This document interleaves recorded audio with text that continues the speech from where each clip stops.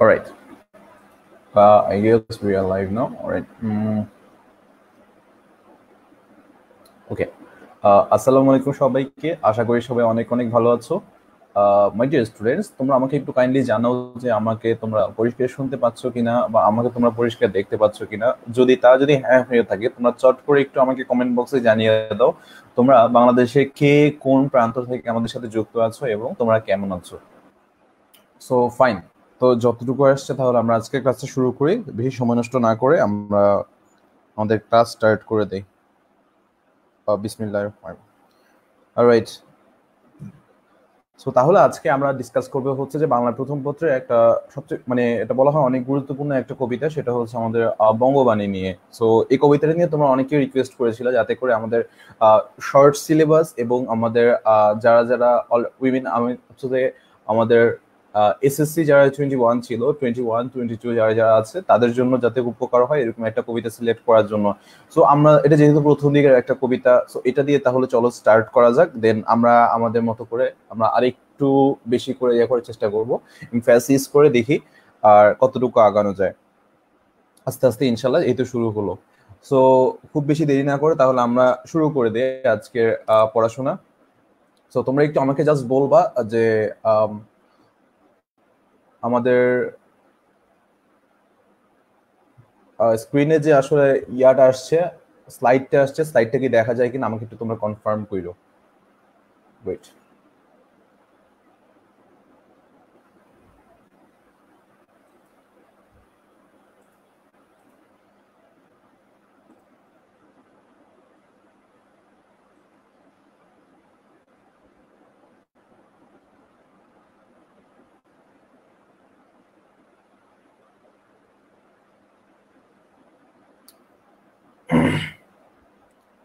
আমাকে কাইন্ডলি তোমরা একটু বলো তোমরা কি স্ক্রিনটা কি পরিষ্কার দেখতে পাচ্ছ কিনা? তোমরা একটু আমাকে কাইন্ডলি জানাও, তোমরা কি স্ক্রিনটা পরিষ্কার দেখতে পাচ্ছ কিনা কমেন্টে আর যারা যারা সালাম দিয়েছ, সবাইকে ওয়ালাইকুম আসসালাম। আচ্ছা welcome to our quick online school momo. ইয়া ওয়ালাইকুম আসসালাম। যারা যারা সালাম দিয়েছ। অলরাইট আজকের ক্লাসটা তোমরা একটু বেশি বেশি করে শেয়ার করে দাও, আমি একটু তোমাদের কমেন্টটা পড়ে নেই। ক্লিয়ার ভাইয়া? Thank you thank you alright তাহলে আমরা একটা একটা করে স্টার্ট করে দেই। সো আজকে কি কি পড়ব আমরা আসলে? হ্যাঁ সো বেসিক্যালি আমরা বঙ্গবাণী কবিতাটা নিয়ে আমরা আসলে ইন ডিটেলসে মোটামুটি যতটুকু পড়া যায় বা যা কিছু শেখা যায় আমরা ওই জিনিসগুলো শিখব। সো বঙ্গবাণীর সবকিছু শুরু করার আগে যে জিনিসটা জানা দরকার সেটা হচ্ছে এই কবিতাটা কি নিয়ে? এটা স্পেশালি আসলে একটা ভাষা কেন্দ্রিক বা আমাদের ভাষার প্রতি যে আবেগ বা ভাষার প্রতি আমাদের যে অনুরাগ যতটুকু থাকা দরকার ছিল বা আমাদের ভাষার প্রতি যে আমাদের অনুভূতিটা, ওই ওই জায়গাটা নিয়ে আসলে এই এই কবিতাটা বাট তারা, তার চাইতে বেশি এটা একটা স্পেশাল জায়গা আছে। সো একটা সময় ছিল যখন কিনা বাংলা ভাষাকে এতটা ফ্রিকুয়েন্টলি বা এত স্বতঃস্ফূর্তভাবে আসলে ব্যবহার করা হতো না। তো ওই সময়ে গিয়ে বাংলা ভাষাটাকে আসলে সবার সামনে তুলে ধরা কবিতার মাধ্যমে এবং সাহিত্যের মাধ্যমে বাংলা ভাষাটাকে উঠিয়ে আনার যে একটা ইতিহাস আমাদের ইতিহাসে রয়েছে, এরকম একটা গল্প যে আমাদের ইতিহাসে রয়েছে। তো মোস্টলি হচ্ছে যে এই যে জিনিসটা আছে, এগুলাকে নিয়ে আসলে এই কবি মানে কবিতাটা স্পেশালি তো তাহলে আমি বেশি কথাবার্তা না বাড়িয়ে বলি আসলে যে আমরা এই কবিতায় আসলে আজকে আমরা কি শিখব বা আমাদের এই কবিতা থেকে আসলে আমরা কোন কোন জিনিসগুলো নেওয়ার আছে সেটা না বাট আমরা আজকে এই ক্লাসের মধ্যে কি কি শিখব? এক, আমরা যেটা শিখব সেটা হচ্ছে যে যিনি লিখেছেন এই কবিতাটা, সেই কবির সম্পর্কে আমরা কয়েকটা তথ্য জানব সেটা আমাদের জন্য খুবই ইম্পর্টেন্ট এমসিকিউর জন্য অ্যান্ড তার পাশাপাশি আমাদের দরকার হয়। আর নেক্সট সেটা হচ্ছে যে কবিতার ভাব। কবিতার প্রত্যেকটা ওয়ার্ড বাই ওয়ার্ড গিয়ে আমরা ওই কবিতার ভাবটাকে আসলে আমরা তুলে ধরার চেষ্টা করব। এই আসলে এই লাইনটা দ্বারা আসলে কি বোঝায় বা এই কবিতার এই পার্টটা দ্বারা আসলে কি বোঝায়? থার্ড যেটা, সেটা হচ্ছে যে কবিতার অর্থ। সো অ্যাজ এ হোল পুরো কবিতার মধ্যে আসলে কোন অর্থটা আসলে প্রকাশ করছে যেটা আমরা জানি পাঠ পরিচিতি রূপে, সেটা জানব। অ্যান্ড ফাইনালি হচ্ছে যে আমরা কিছু জিনিস অনুশীলনের জন্য তোমাদেরকে রেখে দিব। ওই জিনিসগুলো তোমরা নিজেরা বাসায় হোমওয়ার্ক করবা বা নিজেরা চর্চা করবা। অলরাইট সো আই গেস তোমাদের কাছে আই গেস তোমাদের কাছে এইগুলো নিয়ে আসলে মোটামুটি এইটুকু মোটামুটি তোমাদের কাছে ক্লিয়ার কোনো সমস্যা নেই। আমি একটু তোমাদের কমেন্ট পড়ে আসি। একটু কমেন্ট পড়ে, তোমরা জাস্ট তোমাদের ফ্রেন্ডদেরকে মেনশন দিতে থাকো এবং তার পাশাপাশি ভিডিওটাও শেয়ার করতে থাকো। আলহামদুলিল্লাহ আমি ভালো আছি, যারা যারা জিজ্ঞেস করেছ। রাইট ভাইয়া, আপনি বুটিক্সের কত নাম্বার ব্যাচের আমি হচ্ছে HSC seventeen and boutiques forty fourth batch right alright however তাহলে আমরা চলো তাহলে আমরা আজকের পড়াশোনায় মুভ অন করে যাই। প্রথম যে ব্যাপারটা বা প্রথম যে পার্টটা সেটা হচ্ছে চলো আমরা কবিকে জেনে আসি। সো এই যে কবিতাটা, এই কবিতাটা লিখেছেন হচ্ছে যে আব্দুল হাকিম, কবি আব্দুল হাকিম। ওনাকে স্পেশালি বলা হয় হচ্ছে যে মধ্যযুগের কবি। ওনার সম্পর্কে আসলে আমরা কিছু তথ্য জানব এবং তথ্যগুলো হচ্ছে যে মানে একটু কোয়াইট ইন্টারেস্টিং একটা ইতিহাস আছে। সো এই ইতিহাসকে আমরা জানার পাশাপাশি দেখবা যে আসলে এই ইতিহাসটা জানলে কবি পরিচিতি তোমার আসলে কখনো তুমি ভুলবা না। সো যাই হোক, তাহলে আমরা শুরু করি হ্যাঁ? সো প্রথমে যে জিনিসটা জানার দরকার, কবি জন্ম মানে জন্মগ্রহণ করেন কবে সো উনি জন্মগ্রহণ করেন আনুমানিক বইতে যেটা দেওয়া আছে সেটা হচ্ছে তোমার ষোলোশো বিশ খ্রিস্টাব্দে।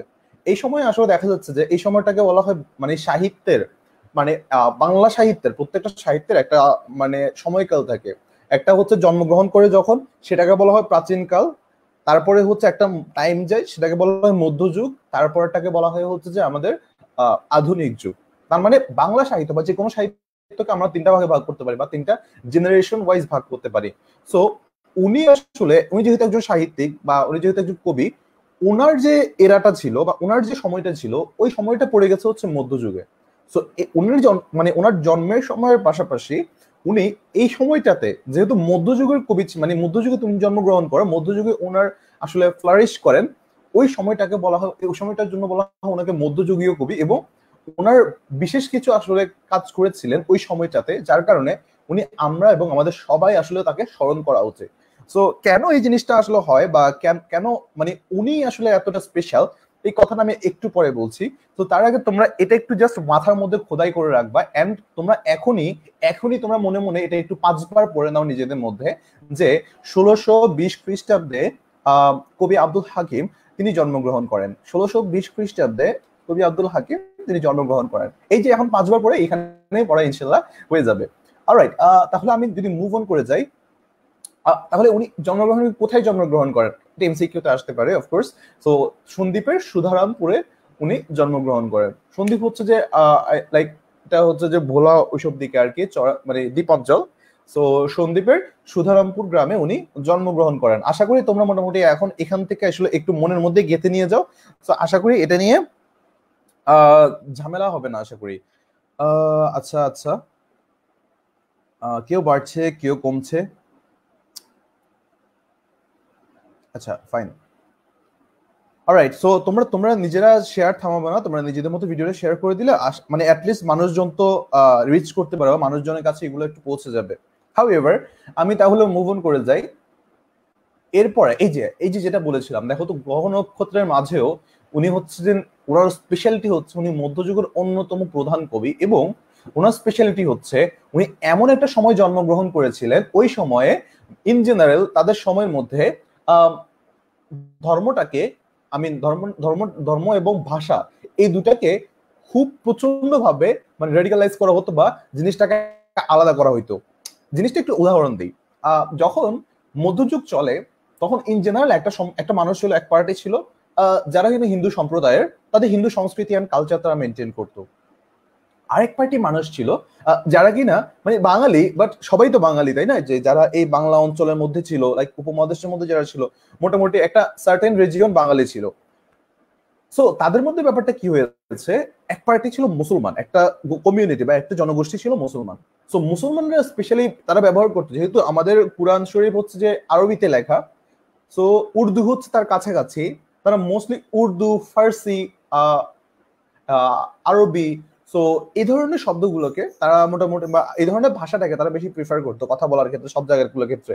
সো তারা মনে করতো যে না, আসলে বাংলাটা আসলে একটু পশ্চাৎপদ একটা মানে একটা পশ্চাৎপদ ভাষা। সো মন খারাপ করার কোনো কারণ নাই। সো ওই সময় জাস্ট মানুষগুলো এমন ভাবতো। তাদের মধ্যে একটু এই গোড়ামিটা আসলে তাদের মধ্যে ছিল যে তারা ক্লাসিফাই করতো ভাষার মধ্যে। তো ইন জেনারেল আসলে ভাষা তো এমন একটা জিনিস যেটা কিনা আমরা আমাদের মনের ভাবকে প্রকাশ করতে পারি। একটা মানুষ, আমি আরেকটা মানুষের সামনে আমি নিজেকে তুলে ধরতে পারি। একটা মানুষের সামনে আরেকটা মানুষকে তুলে ধরতে পারি। মনের মধ্যে যে জিনিসটা আছে সেটা আমি তোমার সামনে উপস্থাপন করতে পারি। সো তাহলে ভাষার যে পরে জিনিসটা আছে, এই জিনিসটা আসলে ফিলোসফিটা কি? ফিলোসফিটা জাস্ট একটাই, ভাষা সার্বজনীন। একটা মানুষের মুখের যে বল, এই বলটা একটা মানুষের জন্য কখনোই একটা জায়গায় লিমিটেড হয়ে যেতে পারে না বা এটা কখনো এই জিনিসটা দিয়ে এফেক্ট করাই উচিত না যেটা কিনা আমরা ধর্ম কিংবা আমরা বর্ণ দিয়ে এটাকে আমরা রেস্ট্রিক্ট করে দিতে পারি। ঠিক এই কাজটা, এই কনসেপ্টটাই তার মাথায় এসেছিল মধ্যযুগে।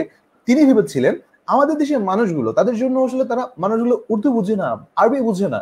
তবু তারা পড়ে। উর্দু তারা বুঝতে পারে, হয়তো হালকা পাতলা ব্যবহার করে তাদের বিভিন্ন ব্যবসা বাণিজ্যের কাজে, বিভিন্ন কাজে। বাট তুমি চিন্তা করে দেখো, আমরা ছোটবেলা থেকে যে আরবি পড়ে আসছি, আমার ছোটবেলা থেকে আসলে অনেকেই অনেকেই কোরআন শরীফ খতম দিয়ে দিয়েছি, অনেকে হয়তো আরবি সেভাবে আমরা পড়ি না, বা গ্রামাটিক্যালি আমরা যেরকম বাংলা শিখেছি, ইংরেজি শিখেছি, আমরা আরবিকে শিখিনি।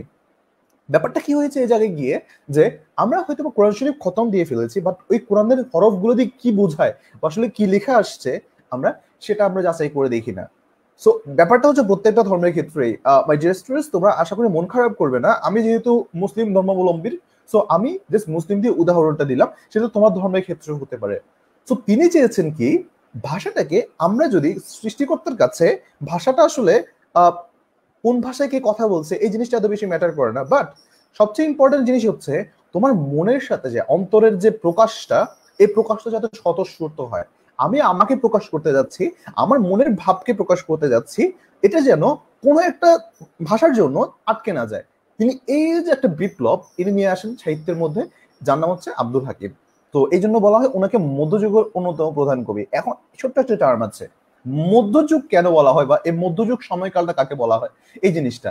তার আগে আমি একটু তোমাদের থেকে ফিডব্যাক নিয়ে নিই। তোমাদের কাছে এখন পর্যন্ত আমি যা যা বলেছি, এটা কি তোমাদের কাছে ক্লিয়ার কিনা? তোমরা আমাকে একটু এটা কমেন্ট করে জানো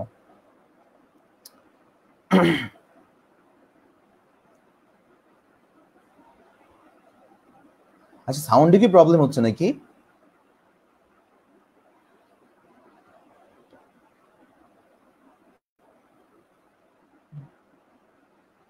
খুব সো সবাই আমাকে জাস্ট ক্লিয়ার বলে দিচ্ছে। থ্যাংক ইউ সো মাচ সবাইকে, যারা যারা অ্যাক্টিভ আছো।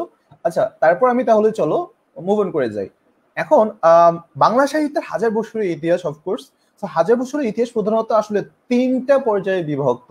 এটা তোমাদের হয়তো বইতে নাই, যেহেতু কারণে এমসিকিউ নাও আসতে পারে বাট তুমি একটু জানার জন্য জেনে রাখবা যাতে করে অন্তত পক্ষে যদি চলেও আসে বা অ্যাটলিস্ট সামনে যদি কোনো একটা লাইক তোমাদের বিসিএস প্রিপারেশন এটা পড়া লাগতে পারে, তোমরা যদি ঢাকা ইউনিভার্সিটি বা বিভিন্ন ইউনিভার্সিটি যদি ডি ইউনিটের জন্য প্রিপারেশন নাও, তোমাদের সেক্ষেত্রে লাগতে পারে সাধারণ জ্ঞান তো অসাধারণ জিনিস, তাই না? সাধারণ জ্ঞান হচ্ছে এমন একটা অসাধারণ জ্ঞান, যেটা পড়তে তোমাকে অসাধারণ লেভেলের ধৈর্য দেওয়া লাগে।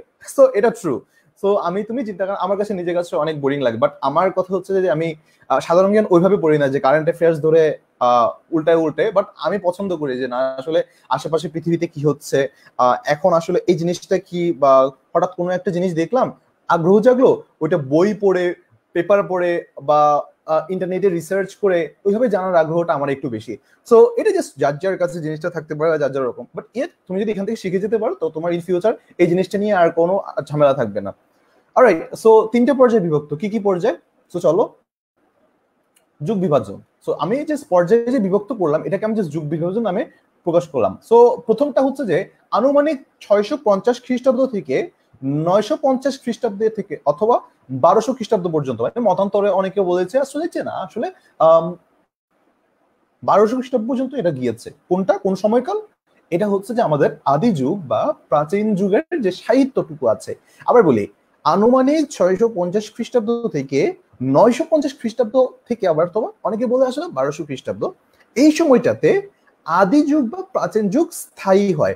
আদি যুগ বা প্রাচীন যুগ স্থায়ী হয়। কতটুকু? ছয়শো পঞ্চাশ থেকে তিনশো বছর বেশি, নয়শো পঞ্চাশ বা কেউ কেউ বলেন বারোশো খ্রিস্টাব্দে। তো এটা মোটামুটি আমাদের আমার বলা যায় যে এটা আমাদের আদি যুগ বা প্রাচীন যুগ। সেকেন্ড সেকেন্ড যে জিনিসটা হচ্ছে সেটা হচ্ছে বারোশো এক কাল থেকে। বারোশো এক সাল না আসলে, বারোশো এক খ্রিস্টাব্দ বলাটা একটু মানে বলে না যে মানে একটু ক্লাসি আর কি। যে, আমরা যখন আদিমকালে জিনিসগুলো দেখছি তখন একটু স্টাইল করে লিখতে চাই আসলে খ্রিস্টাব্দ। খ্রিস্টাব্দ লিখলে মনে হচ্ছে না, একটু পশনেস চলে আসে। সাল লিখলে তো আমরা লিখি দুই হাজার এক সাল দুই হাজার দুই সাল, এটা আমাদের নর্মাল জাস্ট প্রেফারেন্স তো যাই হোক দুই হাজার এক খ্রিস্টাব্দ থেকে আঠারোশো খ্রিস্টাব্দ পর্যন্ত এই যে ছয়শো বছর ছয়শো বছর সময়কালটা কখনো কখনো দেখছ আমাদের মানে উপনিবেশ বা কলোনিয়াল যে টাইমটা এই টাইমটা কিন্তু কিছুটা পড়ে যায় আঠারোশোর মধ্যে রাইট সো এই টাইমটা কি পরে হ্যাঁ পরে সো অলমোস্ট এই টাইমটা আমাদের মোটামুটি পড়ে যায়, যেহেতু সতেরোশো পঞ্চাশ বা এই টাইমটা আসলে কলোনিয়াল আমি যদি ভুল হয়ে থাকি, আমাকে একটু ক্ষমা করে দিও। সো আমার যেহেতু মনে হয় যে আসলে উপনিবেশ বা ইংরেজরা যখন শাসন করেছিল, তখনেরও কিছুটা আসলে মানে মধ্যযুগটা আসে মানে মধ্যযুগটা স্থায়ী হয়। তার মানে আসলে আমাদের উপনিবেশবাদ শুরুই হয়ে হচ্ছে সাহিত্যের মধ্যযুগে। তাহলে তুমি দেখবা যে ওই সময়টা, মধ্যযুগটাতে, ওই সময়টাতে কখনো কখনো দেখবা যে নীল চাষ, যে কিছু শোষণ আছে না, শোষণে কিছু সাহিত্য তুমি তখন থেকে পাবা। এরপরে আসে হচ্ছে যে তোমার আঠারো শতকে এখন পর্যন্ত যত সাহিত্য আবিষ্কৃত হয়েছে, সেগুলোকে বলাই আমরা হচ্ছে যে মডার্ন লিটারেচার আমরা বলি আধুনিক সাহিত্য। আধুনিক সাহিত্যগুলো কারা কারা, আধুনিক সাহিত্যিক কারা কারা? রবীন্দ্রনাথ ঠাকুর সো তারপর হচ্ছে যে ধরো হচ্ছে মাইকেল মধুসূদন দত্ত তারা এসে হচ্ছে যে এটাকে আসলে বাংলা সাহিত্যটাকে অনেক সমৃদ্ধ করে আধুনিক যুগে এসে। তো মনে করো সুকুমার বড়ুয়া তো তো মনে করো যে সুকান্ত ভট্টাচার্য, তো ওনারা যে এসে এসে জাস্ট বাংলা সাহিত্যকে আরও এনরিচ করছেন। এখন তুমি বলতে পারো যে ভাইয়া, হুমায়ুন আহমেদ কি আমাদের তাহলে মধ্যযুগ যুগের মধ্যে অফকোর্স মধ্যযুগতে পড়বেন উনি আধুনিক যুগের? অফকোর্স আধুনিক যুগের। এবং ওনাকে বলা হয়েছে না, একটা বাংলাদেশের সাহিত্যের নতুন একটা স্থান উনি আসলে প্রোভাইড করেন আর কি এছাড়াও তুমি মনে করো যে আমি কাউকে হয়তো কম বা কাউকে বেশি বলছি না তো তখন মানে বাংলা সাহিত্যে এক এক সময় এসে এক একজন অনেক রকম আসলে অবদান রেখে গেছে। তোমরা মানিক বন্দ্যোপাধ্যায়ের নাম শুনতে পারো। এত সুন্দর প্লট সৃষ্টি বা সাহিত্যের ওনাদের মানে অবদান আমরা আমরা কখনোই আসলে ভুলতে পারব না। সো এত পরিমাণে তারা আসলে কন্ট্রিবিউট করে যায়। সো দেখো তো, এই তিনটা ক্লাসিফিকেশন তোমরা কে কে বুঝেছ? আমাকে একটু কমেন্ট করে জানো যুগ বিভাজনটা তোমাদের কাছে কি ক্লিয়ার কিনা? ছয়শো পঞ্চাশ থেকে কত? তিনশো বছর বেড়ে যাবে। কত হয়েছে নয়শো পঞ্চাশ। নয়শো পঞ্চাশ থেকে আড়াইশো বছর কি জন্য? কিছু লোক বলছে যে, না, আসলে আরও আড়াইশো বছর থাকুক। তার মানে ছয়শো পঞ্চাশ থেকে সাড়ে পাঁচশো বছর যদি বাড়িয়ে দেয় বারোশো খ্রিস্টাব্দ পর্যন্ত মোটামুটি এটা স্থায়ী হয়। তার থেকে বারোশো থেকে কত? ছয়শো বছর যোগ করব। ছয়শো বছর যোগ করলে বারোশো থেকে আঠারোশো মধ্যযুগ। আঠারোশো থেকে এখন পর্যন্ত কি হবে বলতো? আমাদের আধুনিক যুগ। ক্লিয়ার কিনা আমাকে একটু বলো কমেন্ট করে। কমেন্ট করে আমাকে একটু জানাও ক্লিয়ার কিনা।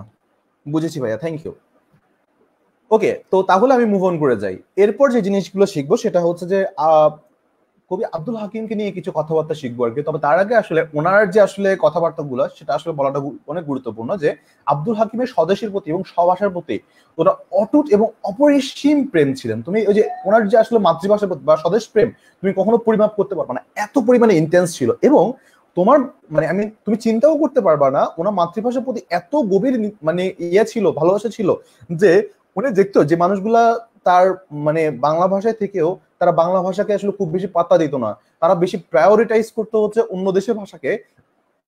মানে তিনি তাদেরকে দেখতে পারতেন না, তিনি তাদেরকে নিন্দা করতেন ক্রিটিসাইজ করতেন। সো তাহলে উনি মানে পরবর্তী প্রজন্মের কাছে একটা আদর্শ কি জন্য? কারণ ওনার ভাষার প্রতি যে টান, ওনার স্বভাষার প্রতি যে অটুট যে বন্ধন এই বন্ধনটা মানে এখনকার যুগে বা এই ইন্টায়ার পপুলেশনের মধ্যে আর দেখা যায় না। সো এই কারণে জাস্ট উনি স্পেশাল সো এটা মোটামুটি তোমরা রাখতে পারো। লাইক স্টেমে যদি দিয়ে দেয় উদ্দীপকে যে একটা মানুষ তার মাতৃভাষার প্রতি এত টান সো কবির সাথে এটা কোন জায়গা থেকে মনে করে যে মিলে যেতে পারে? জাস্ট এরকম একটা জাস্ট ধরো তোমাকে উদ্দীপক বা একটা প্রেক্ষাপট দিয়েও দিতে পারে। সো নূর নামে একটি বিখ্যাত কাব্য নূর নামা হচ্ছে যে এই কবিতাটা, বঙ্গবাণী কবিতাটা যেই কাব্যগ্রন্থ থেকে নেওয়া হয়েছে আই মিন কাব্যগ্রন্থ আমি দুঃখিত, আমাকে মাফ করে দিও মাই ডিয়ার স্টুডেন্টস এটা হচ্ছে যে একটা বিখ্যাত কাব্য, অনেক বড় কাব্য। এই কাব্যের একটা অংশ হচ্ছে যে আমাদের যে বঙ্গবাণী কবিতাটা, তার কবিতায় তুমি অনুপম ব্যক্তিত্বের তার আসলে অনুপম ব্যক্তিত্বের পরিচয় মানে মেলে। কারণ ওনার একই সাথে উনি যে পরিমাণে স্যাক্রিফাইস করেন, একই সাথে উনি যে পরিমাণে এফোর্ট দেন সো এটা আসলে মানে তুমি আমি যাই বলি, এটা আসলে মানে হ্যাটস অফ টু হিম যাই হোক তারপর বলেছে তার অন্যান্য উল্লেখযোগ্য কিছু কাব্যের নাম দেওয়া আছে, ইউসুফ জুলেখা, লালমতি সয়ফুল মুলক তারপর হচ্ছে যে শিয়াবুদ্দিন নামা নসিদ নামা নসিহত নামা তারপর হচ্ছে যে কারবালা ও শহরনামা। তো যা যা আছে, ইউসুফ জুলেখা, লালমতি সয়ফুল মুলক তারপর হচ্ছে যে শিহাবুদ্দিন নামা নসিহত নামা কারবালা ও শহরনামা, কারবালা ও শহরনামা। সো এটা জাস্ট তোমরা নোট করে নাও। আমি তোমাকে দশ মানে দশ সেকেন্ড সময় দিচ্ছি। এর মধ্যে তোমরা নোট করে নাও, তারপর আমরা মুভ অন করে যাব। তারপর আমরা কবিতা স্টার্ট করে দিব আজকে। হ্যাঁ হ্যাঁ তো আমি সময় দিচ্ছি সময় দিচ্ছি। তোমরা একটু লিখে নাও।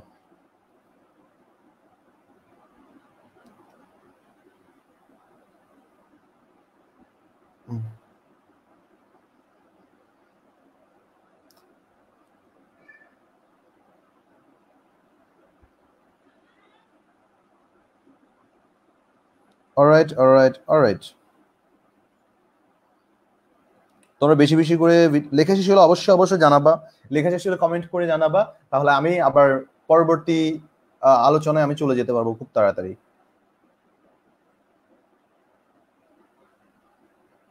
লেখা শেষ লেখা শেষ।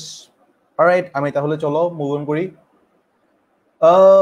আনফর্চুনেটলি উনি উনিশশো সরি দুঃখিত ষোলোশো নব্বই খ্রিস্টাব্দে উনি মৃত্যুবরণ করেন, ষোলোশো নব্বই খ্রিস্টাব্দে। তো ষোলোশো বিশ থেকে সত্তর বছর তার জীবনকাল ষোলোশো নব্বই খ্রিস্টাব্দ পর্যন্ত উনি বেঁচে থাকেন আর কি। সো অলরাইট তোমরা একটু তুলে নাও কষ্ট করে এইটুকু। এমসিকিউর জন্য ইম্পর্টেন্ট তো এবার আসলে চলো, কবিতাটা একটু পড়ে আসি। হ্যাঁ কবিতায় আসলে আমাদের ভাষা বা আমাদের কবিতাতে আসলে কি বলে?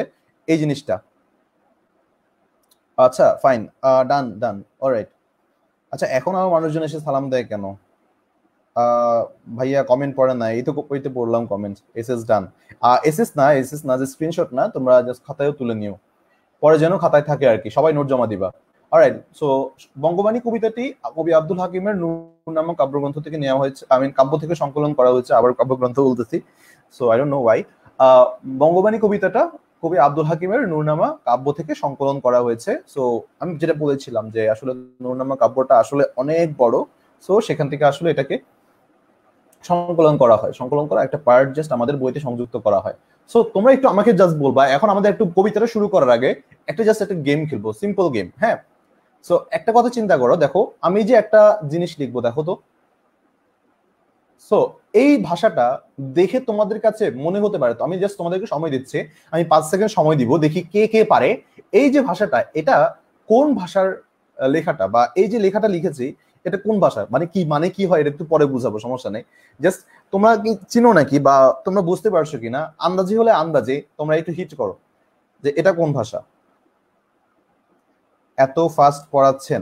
আসলে ফাস্ট না গেলে অনেক বেশি কন্টেন্ট তো সো লেখা যায় মানে বাংলা ক্লাস যদি মনে করো দুই তিন ঘণ্টা হয়ে যায় সো এটা তোমাদের জন্য খুব বেশি প্যারা হয়ে যাবে। কারণ এই পার্টগুলা আমাদের খুব বেশি মানে ইম্পর্টেন্ট না, এটা বলব না বাট একটু ফাস্ট গেলে পরবর্তী টাইমটা মানে পরবর্তী পার্টটাতে আমি একটু টাইম বেশি দিতে পারব, যার কারণে এই পার্টটা একটু ফাস্ট পড়ানো।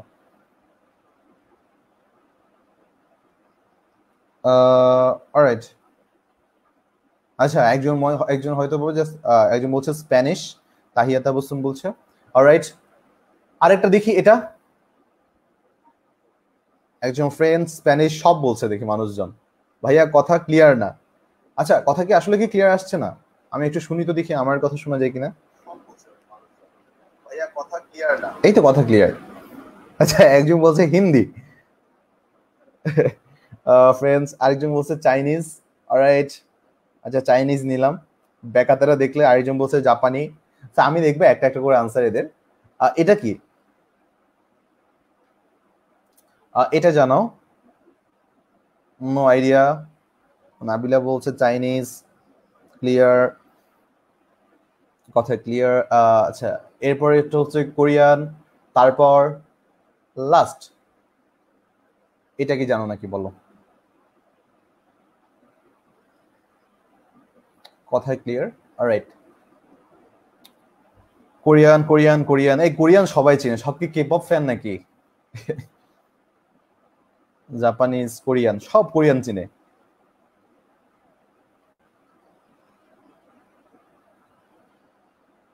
যাই হোক। তারপর আর্য বলছে ওলন্দাজ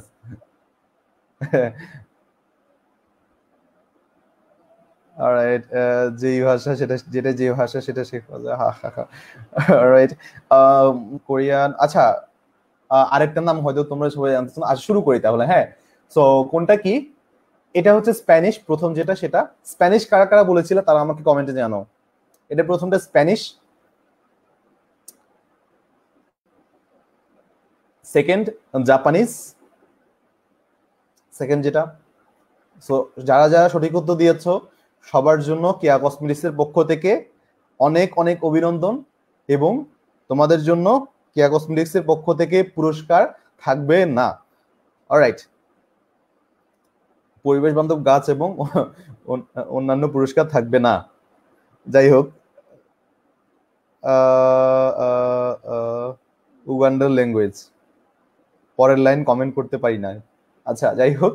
তারপর বলছে, এরপর একটা কোরিয়ান সো অনেকে এরা সঠিক উত্তর দিয়েছ এবং রাইট আর দেন দেন হচ্ছে লাস্ট এটা হচ্ছে ফিনল্যান্ডের ভাষা, সেটা হচ্ছে ফিনিশ এই কথাটা মানে এই টার্ম এই জিনিসগুলো আসলে তোমাদেরকে কেন দেখানো জানো? প্রত্যেকটা ভাষাই মানে প্রত্যেকটা আমি যতগুলো, চারটা লাইন চারটা লাইন কিন্তু তোমার একটা কথাই নির্দেশ করে। এটার অর্থটা হচ্ছে বাংলা অর্থ যদি আমি করি, এটা হচ্ছে আমার সোনার বাংলা। ভালো মতো শোনো। এটার অর্থটা হচ্ছে আমার সোনার বাংলা। দেখো, আমি যখন তোমাকে বললাম আমার সোনার বাংলা, এই কথাটা কি তোমার কাছে বেশি বোধগম্য হয়েছে? নাকি আমি যদি আমি যদি বলতাম যে না, মি বেঙ্গলি দোরাদো। তো আমি যদি এটা বলতাম, তোমাদের কাছে এটা বেশি তোমাদের কাছে আহ বেশি শুনতে ভালো লাগতো বা তোমরা বুঝতে অনেকে তো বুঝতে পারছ না। বা অনেকে সামহাও এটা ধরতে পেরেছ যে না, আসলে যাদের অন্যান্য ভাষা শেখার চর্চা আছে সেটা। তো এটা যে জিনিসটা একটু ফিল করার ট্রাই করো। ভাষা হচ্ছে এমন একটা জিনিস, যেটা কিনা মানুষকে একটা মানুষের কাছে আরেকটা মানুষের মেসেজ বা কথাবার্তা, সেগুলো ক্লিয়ারলি মানুষের কাছে পৌঁছে দেওয়ার। কিন্তু তুমি তাহলে চিন্তা করে দেখো, এই ভাষার মধ্যে যদি এত রকমের ক্লাসিফিকেশন থাকে ক্লাসিফিকেশন দোষের না, তো এই ভাষার মধ্যে তুমি যদি নিজের ভাষার বাইরে অন্য একটা ভাষাকে যদি বেশি প্রায়োরিটাইজ করো, তাহলে তোমার যে বাংলা ভাষাটা আছে, সেটাকে তুমি বেশি মানে ইয়া করতে পারছ যথাযথ মূল্যায়ন করছ? যদি করে থাকো, তাহলেও তুমি কি সেটা দিয়ে তোমার প্রপার ইউজ করতে পারছ কিনা, সেটা একটু দেখতে হবে। তাহলে চিন্তা করে দেখো স্প্যানিশ ভাষায় মি বেঙ্গলের দুরাদো এটা মানে যা, তোমার চিন্তা করে দেখো, আমি জাপানিজ আর কোরিয়ান পারি না আমি সরি সো ফিনিশও পারি না। সো এদের মধ্যে চ্যাপ্টার মধ্যে কোনোটা ভাষা পারি না স্পেনিশ হালকা পাতলা শেখার জন্য ধরছিলাম সো অভ্যাস নাই সো আবার ভুলে গেছি। যাই হোক, তো এটা হচ্ছে যে কুলতানেন বেঙ্গালি যেটা বলছে ফিনিশ প্রত্যেকটা জিনিস কিন্তু একটা কথাই তাহলে নির্দেশ করে, অর্থাৎ তুমি যে কোনো ভাষা ব্যবহার করলে তোমার অর্থ, তার মানে কি? আলাদা একটা ভাষা তুমি যদি মানে পোংটামি করে যদি শিখতে যাও সো সেটা অবশ্যই ভাষা শেখাটা খুব মানে এখন টোয়েন্টি ফার্স্ট সেঞ্চুরির জন্য তোমার অনেক বড় একটা অ্যাডভান্টেজ আমি তোমাদের সবাইকে সাজেস্ট করব যে অন্তত পক্ষে সবাই দুইটা তিনটা ভাষা এখন থেকে তোমরা শেখার ট্রাই করো। আইদার তোমার ধরো তুমি যদি স্প্যানিশ জাপানিজ অন্যান্য ভাষা তুমি শিখতে পারো বাট নট নেসেসারিলি একদম তুমি মনে করো যে বাংলার চেয়ে বেশি বা এমন বলবা যে না, আসলে মমি আই ইট ভাত। এমন এমন কথাবার্তা বলবা। So not that way right so মোটামুটি তোমরা জাস্ট মানে ভাষাগুলো শিখে রাখবা। কারণ হচ্ছে যে এখন তো কম্পিটিটিভ ওয়ার্ল্ড তোমাদের সব জায়গায় নিজেকে আসলে অবস্থান, নিজে যাচ্ছে না লাগবে বা নিজের যে আসলে ক্রেডিবিলিটি সেটা প্রুফ করা লাগবে। সো সেই জায়গা থেকে, সেই দৃষ্টিকোণ থেকে আমি প্রিফার করব অন্তত পক্ষে তোমরা আমার লেভেলে আসা পর্যন্ত যাতে অন্তত পক্ষে দুইটা কি তিনটা তোমাদের ভাষা শেখা থাকে। সো না পারলে অন্তত পক্ষে শেখার প্রসেসের মধ্যে দিয়ে যাতে থাকে। ওয়েল মুভিং অন এখন আমি কবিতায় চলে যাই অলরাইট সো কবিতাতে আসলে কবি কি বলেন হ্যাঁ? সো কবিতার প্রথম লাইন থেকে শুরু করি। আমি একটু দেখি পয়েন্টার গুলোকে সিলেক্ট করি, একটু পেন দিয়ে। অলরাইট সুবিধা হবে পড়তে। সো কবিতার প্রথম লাইন কি বলে? বলছে কিতাব পড়িতে যার নাহিক অভ্যাস। আমি একটু পড়ি মানে চারটা লাইন সে সবে কহিল, মতে মনে হাবিলাস। তে কাজে নিবেদি বাংলা পড়িয়া রচন। নিজ পরিশ্রম তোষী আমি সর্বজন। সো প্রথমটা হচ্ছে যে কিতাব পড়িতে যার নাহিক অভ্যাস। সো ইন জেনারেল যেহেতু এটা আমাদের মধ্যযুগে, ওই সময়কার মানুষগুলো বা সোসাইটিটা দেখতে কেমন ছিল? ওই সময়কার সোসাইটি ছিল মানুষজন অনেক বেশি মানে যারা যারা নর্মাল মানুষ, সাধারণ, আমজনতা ছিল ম্যাঙ্গো পিপল ছিল সো ওই সময়কার মানুষগুলো, আমি একটু পেন্টের কালারটা চেঞ্জ করি। সো ওই সময়কার মানুষগুলো স্পেশালি কিতাব বলতে, তারা ধর্মগ্রন্থগুলোকে বুঝতে পারতো। যে মনে করো আমসিপাড়া বা তুমি মনে করো যে কোরআন শরীফ বা হাদিস কিতাব বা এই ধরনের জিনিসপাতিকে তারা আসলে ইয়ে করতো।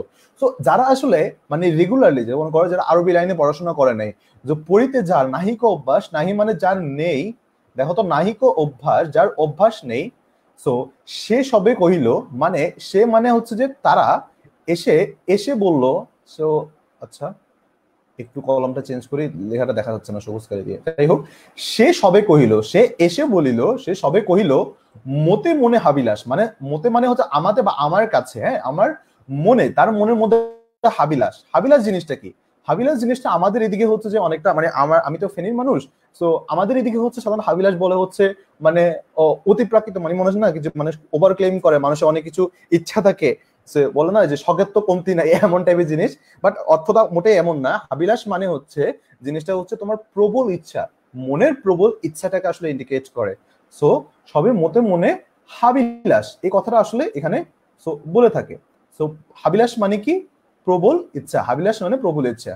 সো তেই কাজে তেই কাজে নিবেদি বাংলা কোরিয়ান রচন মানে তেই মানে ওই কাজে নিবেদি মানে ওই কাজে তুমি নিজেকে নিবেদিত করে মানে তারা বলছিল আর কি সো সে করছে তাদের জন্য নিজেকে তে মানে নিজেকে এখানে বলছে আমাকে বা নিজে সেই কাজে নিবেদিত করেছে নিজেকে, করে বাংলাকে রচনা করেছে। তারপরে পার্টটা দেখো, নিজ পরিশ্রম তোষী তোষী আমি সর্বজন। তোষী মানে হচ্ছে সর্বজনকে শেষ কি করে?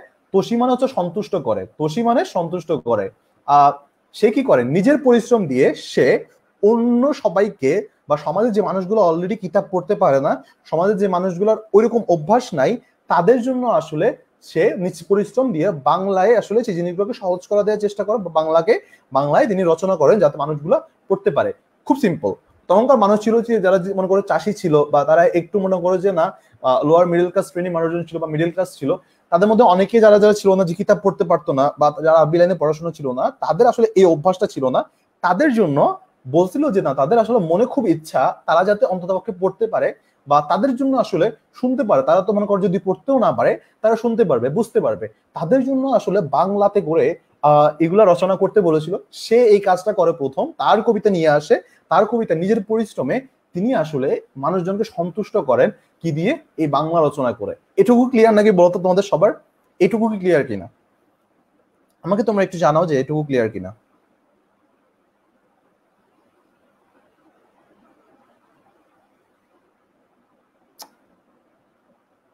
অলরাইট সো ভালো কথা ভালো কথা ভালো কথা। তোমরা আমাকে একটু জানাও এটুকু ক্লিয়ার কিনা। ক্লিয়ার কুল তারপর? তারপর যে আরবি ফার্সি আই মিন সরি আরবি ফার্সি শাস্ত্রে নাই কোন রাগ মানে হচ্ছে কবির আরবি বা মানে অন্য কোনো ধর্মের প্রতি বা অন্য কোনো আসলে শাস্ত্রের প্রতি তার কোনো রাগ নাই। মানে হচ্ছে অন্য কোনো শাস্ত্রকে তিনি ছোট করছেন না বা ক্রিটিসাইজ করছেন না।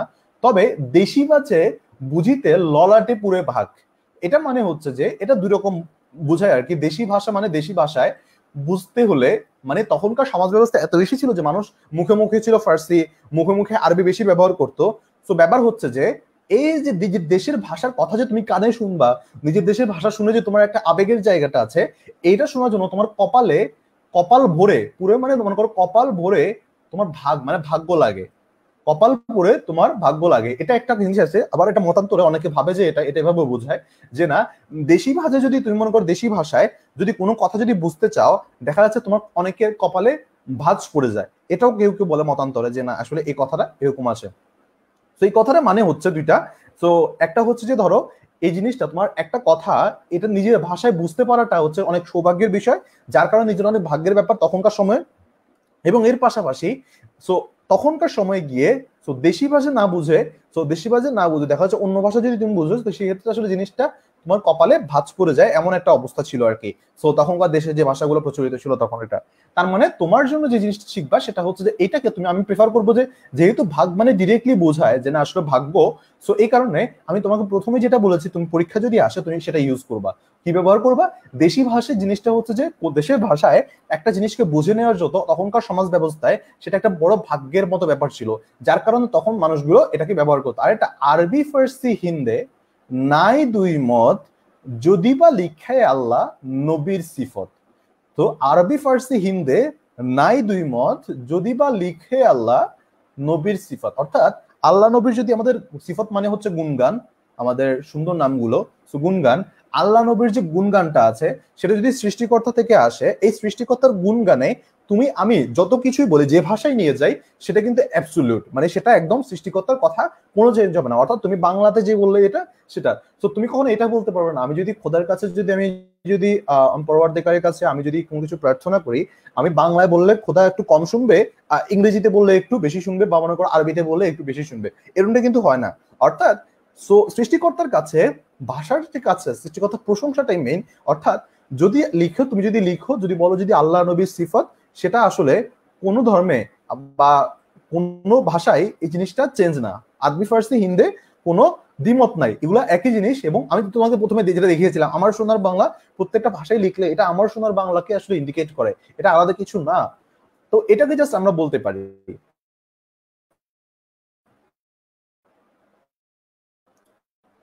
এইটুকু কি তোমাদের ক্লিয়ার কিনা?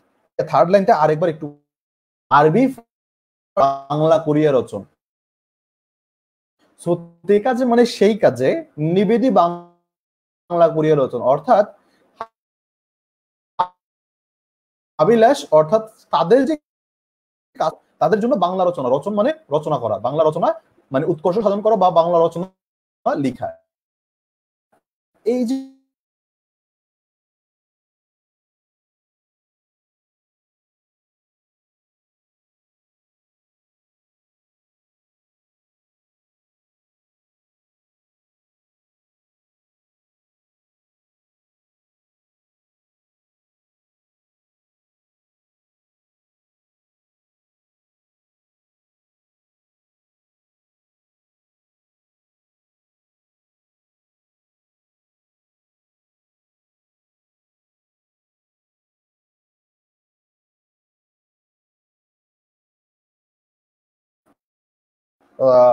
সৃষ্টিকর্তা যদি কোনো মানে বাণী হয় বা সৃষ্টিকর্তা যদি গুণগান হয়, তাহলে সেটা ফার্সি শব্দে যা, আরবি শব্দে তা, হিন্দি শব্দেও তা। তো তো বুঝতে পেরেছ কিনা? যে বুঝতে পারোনি বলেছ, সেটা কি বুঝতে পেরেছ কিনা? আমাকে একটু কমেন্টে তোমরা জানাও। ভাইয়া সাউন্ড প্রবলেম থেমে গেছে। আচ্ছা নেটে হয়তো একটু প্রবলেম করছে। আমার এখানে হয়তো নেট একটু প্রবলেম করছে। একটু দাঁড়াও।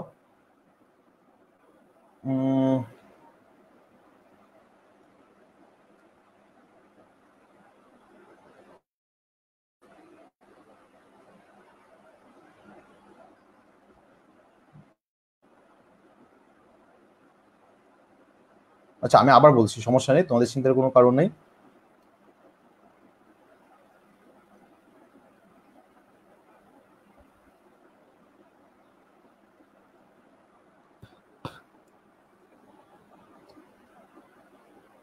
রাইট সো দেখি আসছে কিনা। ওকে উই আর ব্যাক এখন কি ঠিক আছে? আমাকে একটু তোমরা বলো তো, এখন কি ঠিক আছে কিনা? আমাকে তোমরা একটু বলো যে এখন তোমরা শুনতে পাচ্ছ কিনা। বন্ধ হয়ে যায় না এই যদিও। আমার ইন্টারনেট কানেকশন কাট করে যায়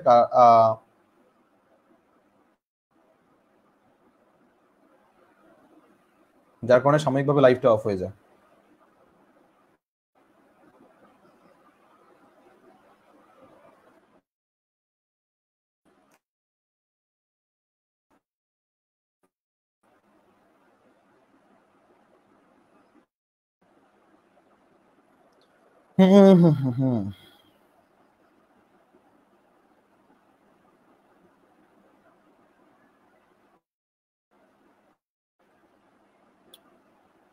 একটু অপেক্ষা করো, আমি নেটটা ঠিক হলেই আমি জাস্ট তোমাদের সাথে জয়েন করছি, আবার এক মিনিট ধৈর্য ধরলেই হবে।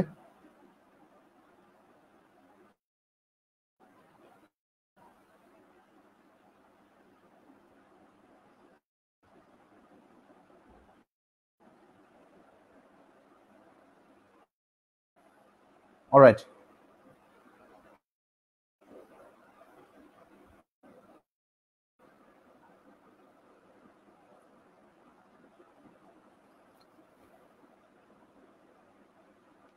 আমি দেখি আমার ওয়াইফাই কানেকশন থেকে সুইচ করা যায় কিনা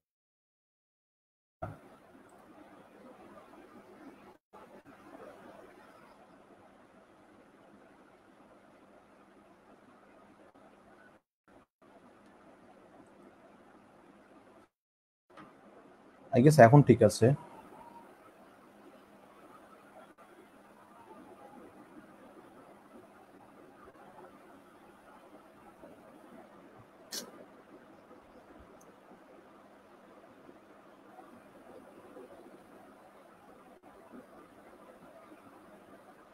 আচ্ছা এখন ঠিক আছে আই গেস ক্লিয়ার অলরাইট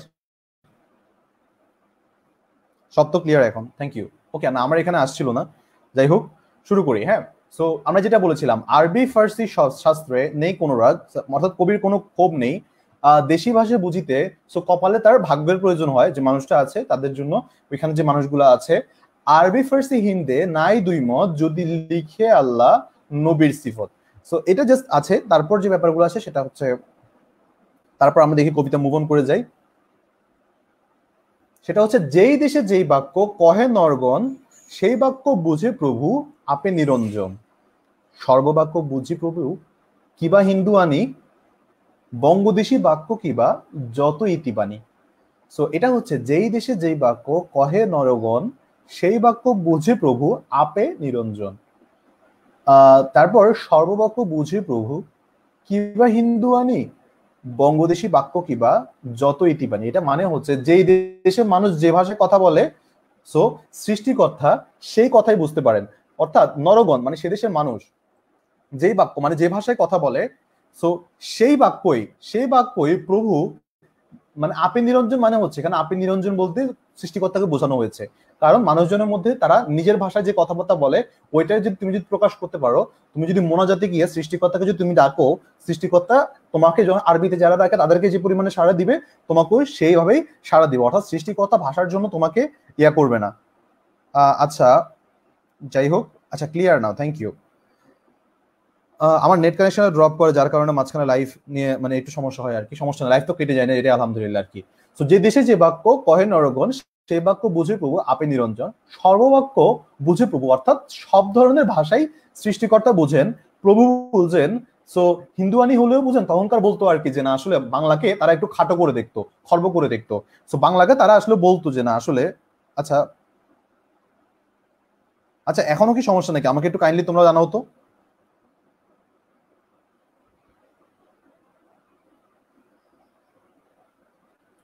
আচ্ছা এখনও কি সমস্যা নাকি? আচ্ছা আমাকে আমরা আগের যে পৃষ্ঠাটা সেটাকে আবার পড়ানো লাগবে নাকি? তোমার একটু বলো আমাকে।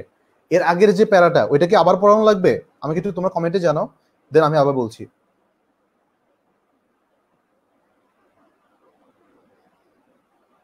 আর যারা যারা আছো, তারা একটু কাইন্ডলি তারা সবাই শেয়ার করে দাও একটু। তারা সবাই ভিডিওটা শেয়ার করে দাও।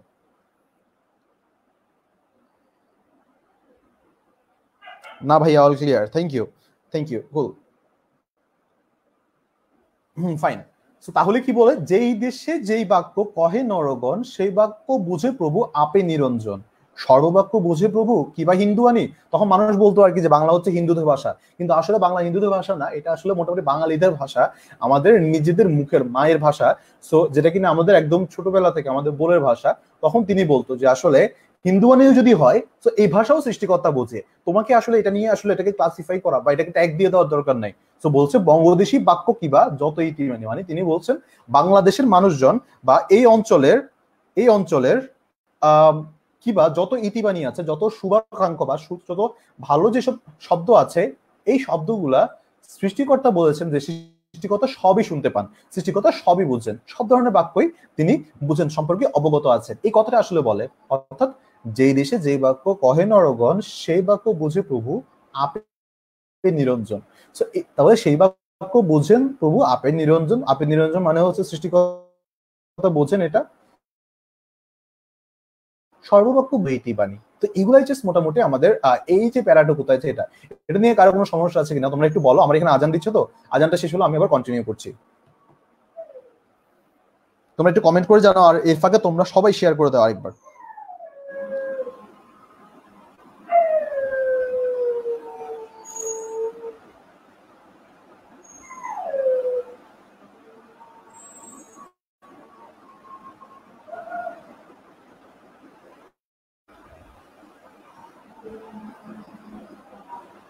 Mm, all right.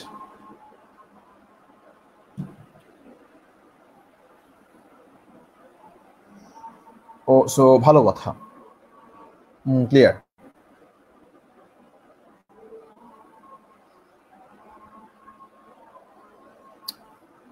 আমার এখানে অনেক নেট প্রবলেম করছে, অপূর্ব বলছে।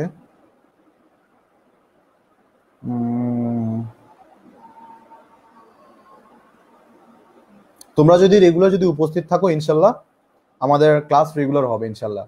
সো তোমরা যদি রেগুলার থাকতে পারো যে না, আসলে আমাদের মেম্বার যদি একশো একশো প্লাস যদি হয়, তাহলে প্রতি সপ্তাহে আমাদের ধরো শুক্রবার বা শনিবার বা দুই দিনই যদি হয়, আমরা বাংলা ক্লাস রাখার ট্রাই করব। তো তোমরা কি চাও নাকি? তোমরা কমেন্টে জানো তো দেখি। তোমরা কি চাও নাকি যে এরকম ক্লাস রেগুলার হোক বা একটা নিয়মিত রুটিনে দিয়ে দেই? তোমরা একটু জানাও।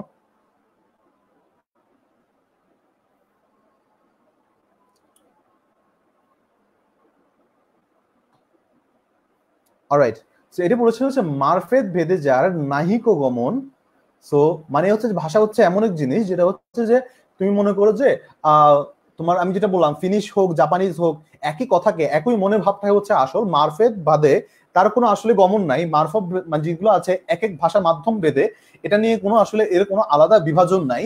ইয়েট আমরা বলতে পারি যে হিন্দুর অক্ষরে হিংসে সে সবের গণ।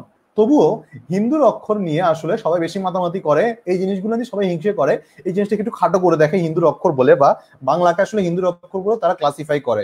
অর্থাৎ ভাষা এমন একটা জিনিস যেটা হচ্ছে সার্বজনীন, মারফত মানে ওটা যে কোনো মানে এটা কি তার যে এনসেস্টর বা এটা যেই ইয়া দ্বারা এসেছে, যে মানুষ দ্বারা এসেছে, যাদের দ্বারা, যে জাতি দ্বারা এসেছে সেই সম্পর্কিত কোনো মারফত নাই বা মারফত বেদে তার কোনো ভেদাভেদ নাই। ইয়েট আমরা কি করি?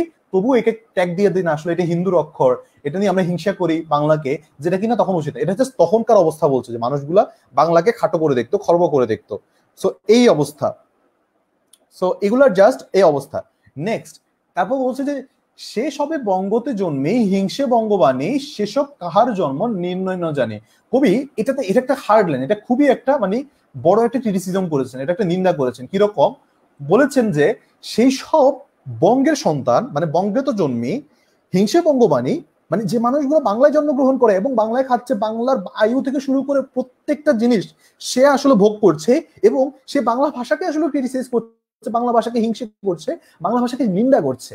ওই মানুষটাকে বলছে তার জন্ম নিয়ে কবি সন্দেহ প্রকাশ করেছেন। তাহলে কি তুমি এই দেশে জন্মগ্রহণ করনি? তাহলে এটা তোমার জন্মস্থান না? কবি এতটা সিভিয়ার লেভেলে গিয়ে এটাকে ক্রিটিসাইজ করে। তিনি বলেছেন সে সবে বঙ্গতে জন্মি, হিংসে বঙ্গবাণী। মানে সে সবে জন্মগ্রহণ করল বাংলাদেশে।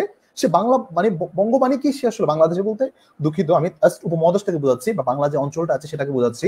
সে বঙ্গবাণীকে হিংসে করে? সেসব কাহার জন্ম, নির্ণয় ন জানি। মানে সেসব কাহার জন্ম, সে কোথায় জন্মগ্রহণ করেছে? তা আসলে নির্ণয় করা যায় না। এই হচ্ছে তাহলে এটা মোটামুটি আমাদের মানে এই চারটা লাইন দ্বারা এটা বোঝায় আর কি। সো এটুকু কি ক্লিয়ার নাকি? মারফত ভেদে, মারফত মানে হচ্ছে মাধ্যম ভেদে মানে ভাষার কোনো গমন নাই। মারফত ভেদে ভাষার কোনো এদিক ওদিক নাই, অর্থাৎ কোনো ক্লাসিফিকেশন নাই। দুই দুই নম্বর লাইন তোমরা খাতা কিন্তু লিখে রাখবা, অথবা ভিডিওটা দরকার হলে আবার দেখে হইল নোট করে রাখবা, এগুলো ইম্পর্টেন্ট হিন্দুর অক্ষরে হিংসে সবে সবার গণ মানে হিন্দুর অক্ষর বলেই হিংসে করে সবাই, এটাকে কেন সবাই খাটো করে দেখে? যে সবে বঙ্গতে জন্মিল মানে যে মাত্র বাংলায় জন্মেছে, হিংসে বঙ্গবাণী সেসব কাহার জন্ম? নির্ণয় জানি। এটা জাস্ট উনি বোঝাতে, এটা জাস্ট একটা মানে হার্ড লাইনে গিয়ে একটা ক্রিটিসিজম করে। সো এগুলোই হচ্ছে যে মোটামুটি আশা করি তোমরা বুঝতে পারবা। এটা একটু আমাকে কাইন্ডলি তোমরা বলো। ভাইয়া, আবার একটু বলেন। আমি আবার বলেছি, তোমরা একটু বলো, তোমরা কি এটা বুঝতে পেরেছ কিনা? তোমরা এটা বুঝতে বুঝতে পেরেছ কিনা? বা এই চারটা লাইন তোমরা বুঝতে পেরেছ কিনা? আমাকে তোমরা কমেন্ট করে জানো তোমরা একটু কমেন্টে আমাকে জানো হ্যাঁ মারফত মানে মারফত মানে হচ্ছে তুমি জাস্ট মাধ্যম বলেছে, সাধনা। মানে যে লোকগুলো সাধন করে আসছে এই জিনিসগুলো নিয়ে তো এই অনুযায়ী তোমার মনে করে যে নাহিক গমন। তো একটা ধর্ম নিয়ে মনে করে যে যেসব লোকগুলো দিয়ে বাংলা ভাষা এসেছে, তুমি যদি মনে করো যে দ্রাবিড, তারপরে হচ্ছে পুঞ্জ তো বাংলা তো একটা ইতিহাস আছে, তাই না? ওই অনুযায়ী। যাই হোক তার, এটাকে বুঝতে পেরেছ কিনা?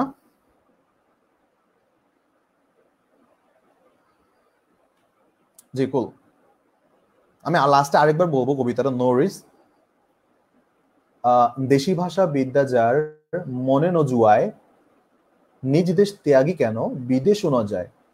মাতা পিতা মহক্রমে বঙ্গতে বসতি, দেশি ভাষা উপদেশ মনে হিত অতি এটা দিয়ে কবি মানে একটা জাস্ট আক্ষেপের জায়গাটা প্রকাশ করেছেন যে দেশি ভাষা বিদ্যায় যার মনে না জুড়ায় মানে হচ্ছে জুয়ায় মানে জুয়ায় আর কি সো দেশি ভাষা বিদ্যা মানে দেশের ভাষায় বা দেশের যে বিদ্যা, বাংলা ভাষায় যে পড়াশোনা বা বাংলায় যে আসলে এটা, যার আসলে মন না জুড়ায়, সে কেন এই দেশে আছে? তিনি বলেন যে, নিজ দেশ ত্যাগই কেন বিদেশও না যায়? মানে নিজ দেশ ত্যাগ করে ত্যাগ করে কেন সে বিদেশ চলে যায় না? সে কেন এখানে পড়ে আছে? সো যার পিতা মাতা থেকে যার শেকড় পিতামাতা মানে পিতামাতা মহক্রমে বঙ্গতে বসতি। সো বাংলা মানে বাংলা লেখার সময় তোমরা একটু ওয়ার্ডিং নিয়ে একটু চিন্তা ভাবনা করবে অলরাইট বাংলায় কিন্তু তুমি কত সুন্দর করে ভাষাটাকে প্রয়োগ করতে পারো, তার উপর কিন্তু তোমার মার্ক অনেকটা ডিপেন্ড করে। সো তুমি যখন এটাকে লিখবা যে পিতামাতা মহক্রমে বঙ্গতে বসতি, তুমি দেখবা, তুমি লেখাটা এভাবে না লিখে যে পিতামাতার অনেক মানে তার পিতামাতা এখানে বসবাস করে, যার কারণে তার একটা জিনিস আছে তুমি এভাবে না বলে তুমি জাস্ট কথাটা এভাবে লিখবা যে মানুষটার শিকড় বা তার পূর্বপুরুষরা এইখানে বসতি করে গেছে, তার আসলে সে শিকড়টা আছে, শিকড়কে ছিন্ন করে তার বিরুদ্ধে গিয়ে দেশি ভাষায় যাওয়াটা তার উচিত না বা এই জিনিসটা জাস্ট তুমি এটাকে এই ওয়ার্ডিংটা দিতে পারো যে না, আসলে একটা মানুষের শেকড় হচ্ছে কি তার নিজের জন্মভূমি। এই শেকড়কে ছেড়ে বা এই শেকড়ের প্রতি মানুষ কখনো মানে এই বেইমানিটা সে করতে পারে না বা নাফারমেন্টে সে করতে পারে না। অর্থাৎ দেশি ভাষা বিদ্যা যার মনে নজুয়ায় সে কেন এই দেশে আছে? বিদেশ চলে যায় না কেন? কবি তাকে বলেছেন যে আসলে ধিকার জানান। তারপর কবি বলেন যে মাতা পিতা মহক্রমে মাতা পিতা মহক্রমে বঙ্গতে বসতি যার একদম মাতা পিতা সহ একদম শিকড়টাই দেশে সো তার জন্য দেশি ভাষায় কেউ যদি তাকে উপদেশও দেয় উপদেশও দেয়, মনে হিত অতি। সো এখানে আমি তোমাদের জাস্ট একটা জিনিস শিখাবো রাইট এটা সারা জীবন মনে রাখবা। ট্রাস্ট এটা জাস্ট তোমাদের সারা জীবন কাজে লাগবে। সো এটা হচ্ছে স্পেশালি আমি একটা জাস্ট একটা ট্রেনিং নিয়েছিলাম, একটা ইন্টারন্যাশনাল ট্রেনিং সো আমি এখানে সেখান থেকে শিখেছিলাম আর কি। আমরা উপদেশ যখন দেই মানে উপদেশ জিনিসটা আসলে এখানে যদি একটা পজিটিভ ওয়েতে দেয় তো উপদেশ যখন আমরা, আমাদের যখন গুরুজনরা দেয় তো ওই দিক থেকে দে আর কোয়াইট গুড সমস্যা নেই, এটা নিয়ে সমস্যা নেই। বাট সমস্যাটা হচ্ছে, আমরা না একটু বেশি এতটা মানে কি বলা হয়, কিছু হইলে আমরা অন্যকে উপদেশ দেওয়ার মতো, আমাদের ফ্রেন্ড বা আমি চিনিও না এমন মানুষকে, তাকে উপদেশ দেওয়ার মতো। এখন যেহেতু অনলাইন ওপেন প্ল্যাটফর্ম সবাই এই জিনিসটা প্রিফার করি। মানে সবাই হুট করে চাইলে একটা জিনিস জাজ করে আমরা একটা উপদেশ দিয়ে দিলাম বা একটা ওপিনিয়ন ড্রপ করে দিলাম। এই জিনিসটা না তোমরা এখন থেকে আমি জাস্ট বিলিভ করব যে তোমরা একটু কম করবা। কেন? উপদেশ ইটসেলফ একটা নেগেটিভ জিনিস, উপদেশ। এটা ইটসেলফ একটা নেগেটিভ জিনিস। এটা একটা কমিউনিকেশন হ্যাক তুমি যখন কাউকে, কারোর সাথে কথা বলতে যাবা তুমি ট্রাই করবা তাকে যতটা ইম্প্যাথেটিক ওয়েতে তুমি ধরে নিবা সে মানুষটা দুনিয়ার সবচেয়ে দুঃখী মানুষ। তুমি তাকে এতটা সময় করবা, এতটা সুন্দর করে তাকে ইম্প্যাথেটিক ওয়েতে তার সাথে কথা বলবা। যখন তুমি তাকে একজন অপরিচিত মানুষকে ইয়ে করতে যাচ্ছ, সেটা হতে পারে তুমি নর্মাল সালাম দিয়ে কনভে করলা, তুমি নর্মালি জিজ্ঞেস করতে পারো কেমন আছেন। তারপর হচ্ছে তুমি তোমার যে মানে কনভারসেশনটা তুমি তোমার দিক থেকে তুমি এই জিনিসটাকে তুমি কনভে করবা, তোমার মেসেজটা কনভে করা ট্রাই করব।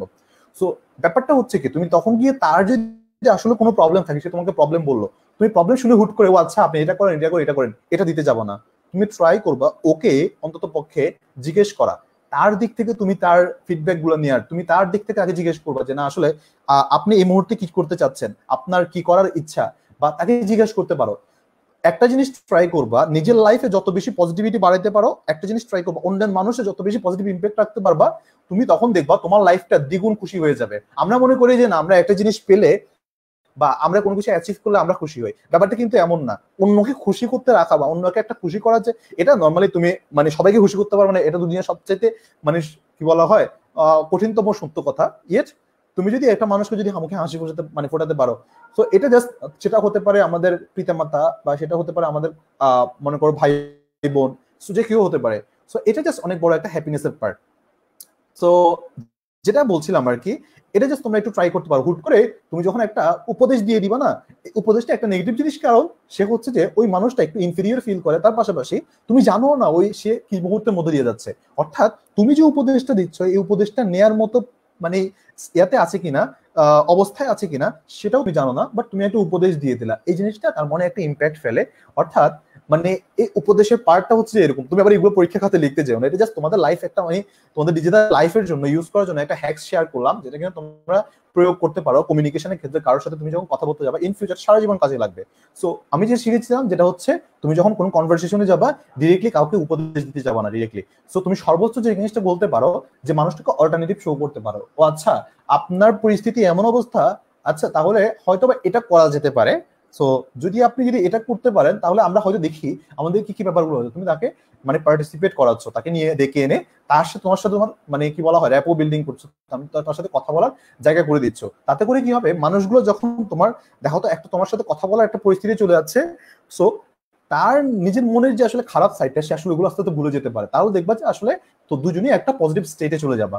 সো এটা বলছে, নিজের দেশে যদি কেউ যদি উপদেশও নেয়, উপদেশও মনে হিট লাগে মানে নিজের কাছে ভালো লাগে। নিজের ভাষা যদি কেউ যদি তোমাকে উপদেশও দেয়, সেটাও শুনতে ভালো লাগে। এই এ হচ্ছে অবস্থা।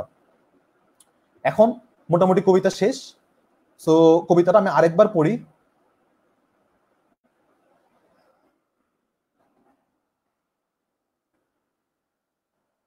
রাইট কবিতাটা আমি আরেকবার পড়ি একদম প্রথম থেকে। সো তারপর আমি স্টার্ট করব। সো কিতাব পড়িতে যার নাহিক অভ্যাস, সে সবে কহিল মতে মনে হাবিলাস। তে কাজে নিবেদি বাংলা করিয়া বচন সরি রচন তাহলে প্রথম থেকে পড়ি, কিতাব পড়িতে যার নাহিক অভ্যাস মানে যার কিতাব পড়তে কোনো অভ্যাস নাই, যে মানুষটা রেগুলার মানে মনে করে যে আমসি পাড়া থেকে মানে জাস্ট আমসি পাড়া পড়েছিল বা আরবি লাইনে পড়াশোনা করে নাই, সে বলল, আমার না মনে খুব হাবিলাস যে আসলে ওই কিতাবের মধ্যে কি লেখা আছে, সেই জিনিসটা পড়বে তার প্রবল ইচ্ছে সেটা জানার জন্য।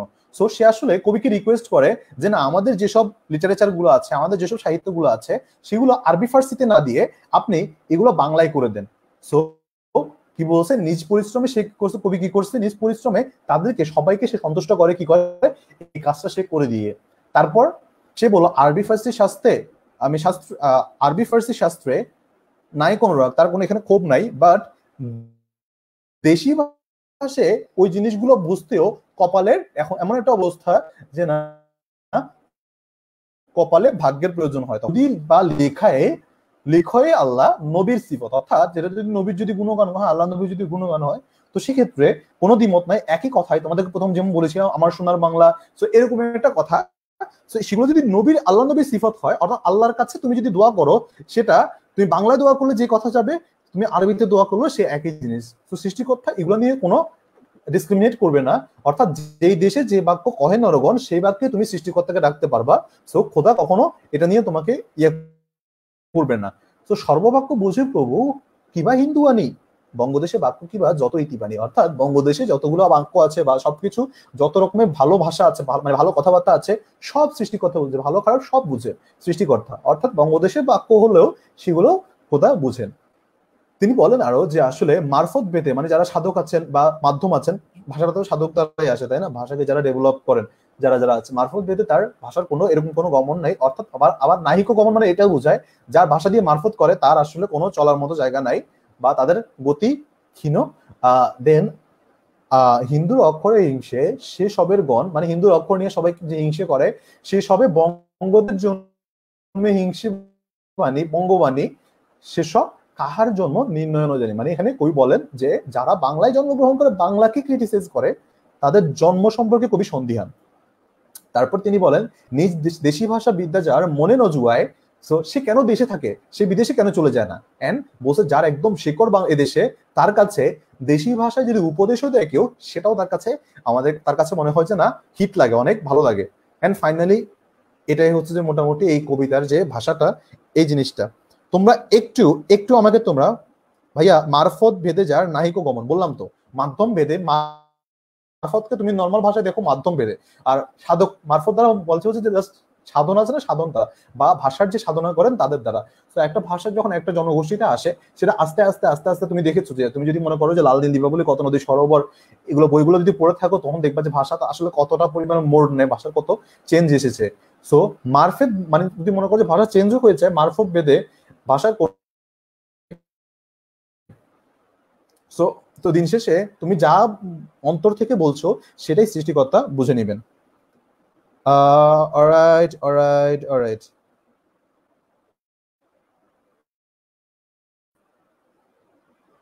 আচ্ছা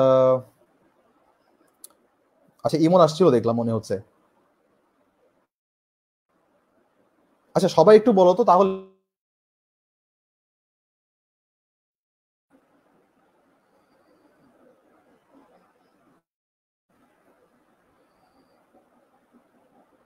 Clear, sir?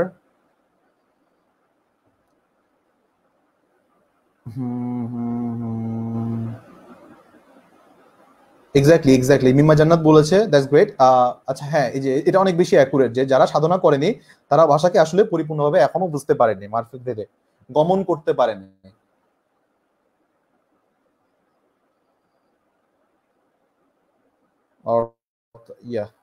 আচ্ছা আমি লাইনটা আরেকবার বুঝাই তোমাদের যার ক্ষেত্রে।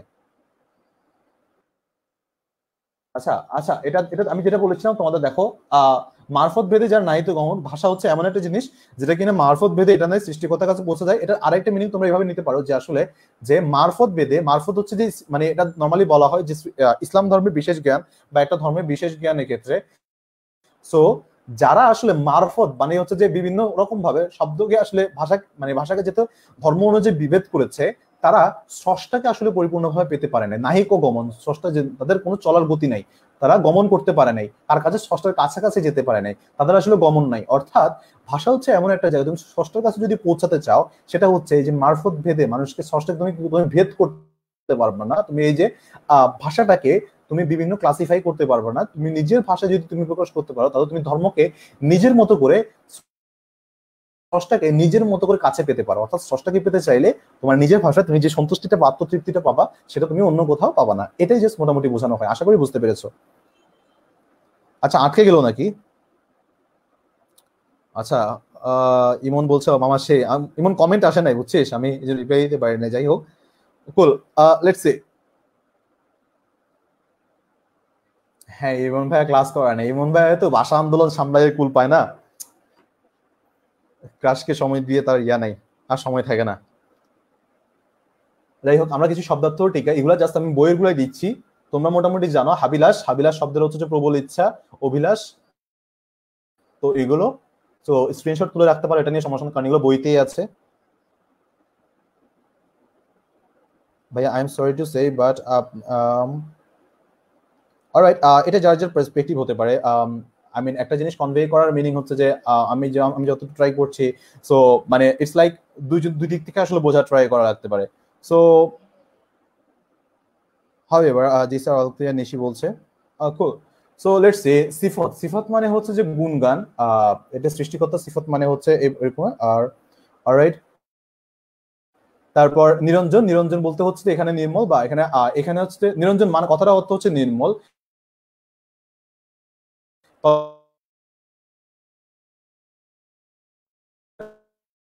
সবগুলো একসাথে চলে আসছে। আচ্ছা যাই হোক।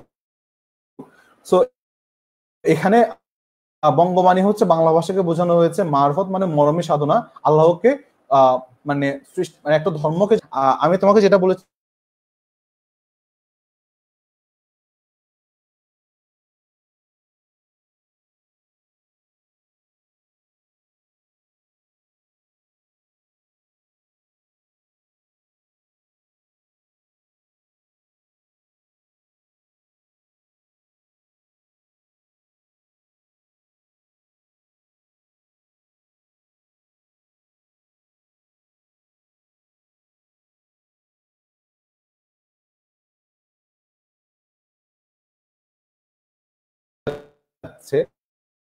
যাচ্ছে আমি যদি হিন্দি বা অন্য কোনো ভাষায় দিতাম, তুমি সে মানে এর সিক্সটি পার্সেন্টও বুঝতে পারতাম না, যেটা একদম সত্যি কথা। সো এই কথাটাই জাস্ট আমি মানে এটা জাস্ট বোঝানোর ট্রাই করছি যে আসলে আল্লাহকে সম্যকভাবে জানার জন্য যে সাধনাটা, এই সাধনা যোগায় কিসের? আমাদের এই মানে এই মরমে সাধনাটা। এই মারফতটা তো যাই হোক let's move on to the next topic ভাগ ভাগ মানে নর্মালি ভাগ্য আর আপে মানে হচ্ছে স্বয়ং বা আপনি সো ইন জেনারেল আপে নিরঞ্জন বলেছেন হচ্ছে সৃষ্টিকর্তাকে। সো তাহলে আমরা চলে আসি যে আসলে দেশি ভাষা, এটা নয় জাস্ট নর্মাল আমাদের কিছু, একটা টিকা ছিল যে এটা দুই নম্বরের ক্ষেত্রে তোমাদের কাজে লাগতে পারে। আচ্ছা আটকে যাচ্ছে নাকি? আচ্ছা কাইন্ডলি আমাকে একটু জানো যে আটকে যাচ্ছে নাকি, তাহলে আমি একটু তোমাদের জন্য একটু থেমে আমি জাস্ট আটকে যাচ্ছে। আচ্ছা আটকে গেছে। আমি একটু দেখি। নেটের সমস্যা। আচ্ছা একটু ওয়েট করো, একটু ওয়েট করো, ঠিক হয়ে যাবে।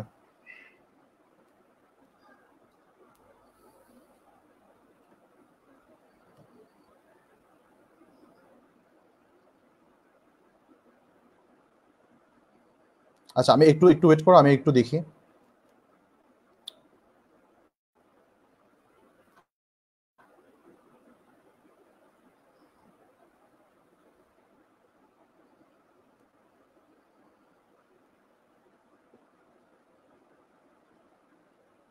অলরাইট তাহলে আমি মুভ আমি এগুলো একটু পড়িয়ে যাই হ্যাঁ? আমি জাস্ট এটা বলেছিলাম এখানে যদি আটকে গিয়ে থাকে, তবু আমি একটু পড়াই। হাবিলাস অভিলাষ প্রবল ইচ্ছা সিফত মানে হচ্ছে গুণগান বা গুণবাচক নামগুলো।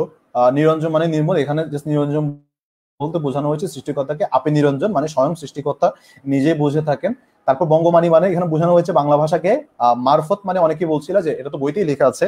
সো আমি জাস্ট তোমাদেরকে লিটারাল সেন্সে মারফত জিনিসটা আসলে কীরকম? আমি জাস্ট তোমাদেরকে বলেছি যে আসলে মারফত এখানে বোঝানো হচ্ছে মর্মী সাধনাকে মানে সুফিবাদকে, সৃষ্টিকর্তাকে সম্যকভাবে জানার জন্য তোমাদের আসলে নিজের বাসায় এটাকে সাধারণ মানে সাধনা করা লাগবে। তুমি চিন্তা করে দেখো, তুমি ফিজিক্স কেমিস্ট্রি পড়তে গেলেও তুমি বাংলাতে একটা লেকচারকে তুমি যতটা ভালো মতো বুঝতে পারো, তুমি একটা ইংলিশ লেকচার দেখতে গেলে তোমার কাছে কিন্তু অত ক্লিয়ার হয় না। অর্থাৎ তুমি যদি আসলে মরমী সাধনা করতে পারো, যদি ওইরকম যদি তুমি মানে ষষ্ঠাকে যদি পেতে চাও, কাছে পেতে চাও সো তোমার ওইটা জানার জন্য অফকোর্স তোমাকে নিজের ভাষায় ওই ইন্টারপ্রেট করে নিতে হবে ওই জিনিসটা।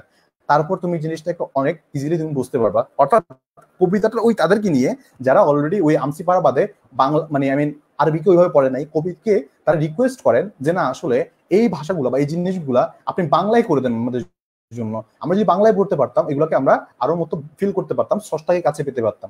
সো মারফত ভেদে যাদের, যারা যারা মনে করে যে না, আসলে এই যে মানে মারফত ভেদে বা সৃষ্টিকর্তা যে আসলে মানে মর্মে সাধনা ভেদে, এদেরকে আপনি যদি অন্য যদি ধর্ম বা এদের যদি ভেদ করেন বা আপনি যদি ভাষা থেকে ভাষা যদি ভেদ করেন মানে ক্লাসিফাই করেন সেক্ষেত্রে আপনি স্রষ্টাকে পাওয়ার যে গোলটা আছে, সেই গোলটাকে আপনি কখনো রিচ করতে পারবেন না। এই জিনিসটা আসলে ওই লাইনটা দ্বারা বোঝানো হয়। নেক্সট ভাগ ভাগ মানে হচ্ছে ভাগ্য, আর আপে মানে স্বয়ং আপনি। এগুলা খুব ইজি ইজি আমাদের শব্দার্থ ছিল। সো একটা কথার অর্থ টিকারা ছিল যে নিজ দেশে ত্যাগে কেন বিদেশ ন যায়? সো এটা হচ্ছে যে দেশি ভাষা বিদ্যা, যার মনে না জয় কবিতাটি আসলে সপ্তদশ শতকে রচিত। বেসিক্যালি এটা মানে বোঝাই হচ্ছে তারা, এখানে একটা এডিট ছিল। যারা, এখানে একটা এডিট ছিল হচ্ছে, দাঁড়াও ফাইন একটু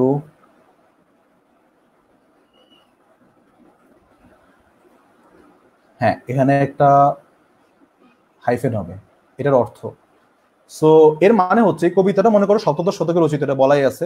তৎকালীন সমাজে এক শ্রেণির লোক নিজের দেশ, নিজের ভাষা, সংস্কৃতি এবং প্রত্যেকটা জিনিসকে সে আসল পরিচয় সম্পর্কে বিভ্রান্ত এবং সংকীর্ণ চেতনা ছিল। ও আচ্ছা আমি যদি মনে করো বাংলায় কথা বলি, তাহলে আমি খুব খ্যাত হয়ে যাব, আমি অনেক খর্ব হয়ে যাব বা আমি একটু ব্যাকডেটেড এই ধরনের চিন্তা ভাবনাগুলো তাদের মধ্যে ছিল। অর্থাৎ মানুষগুলো আসলে যখন নিজেদেরকে মনে করো অন্য ভাষায় কথা বলাটাকে কুল মনে করে এখনকার সমাজে এটা খুব বেশি পরিমাণে আছে। তবুও তখন আরও বেশি ছিল। তারা মনে করতো কথাবার্তাই বলতো তারা হচ্ছে আরবি ফার্সিতে বা তাদের ব্যবসা বাণিজ্যের খাতিরে তারা এগুলো করতো। অর্থাৎ তাদেরকে কবি বলেছেন যে না, আসলে তারা হচ্ছে এক রকমের শিকড়হীন পরগাছার মতো।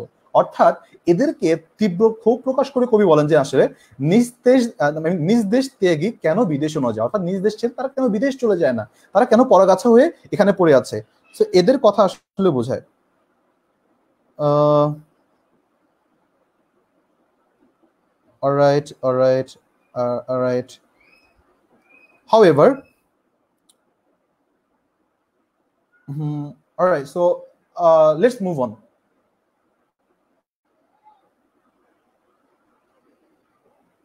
All right. Part purichiti.